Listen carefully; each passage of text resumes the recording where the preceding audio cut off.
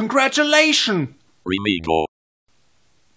You are a purple unicorn that eats sock puppets on a afro wig in Peru. Good work!